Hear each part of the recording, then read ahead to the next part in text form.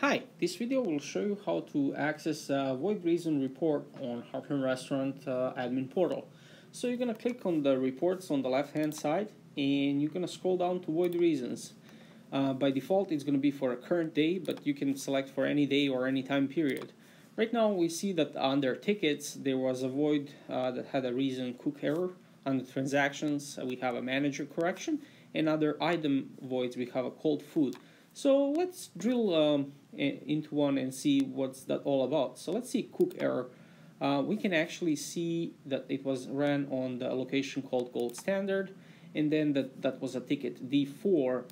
If I click on it, I'm going to bring out back the ticket and I can view the audit trail by clicking the view audit trail on top and I can see the entire uh, workflow or that ticket. So there was item added and then another item added and then there was a transaction order was sent and then the transaction was voided and then the item was removed. So you pretty much have the entire workflow and you can see who actually did all these operations.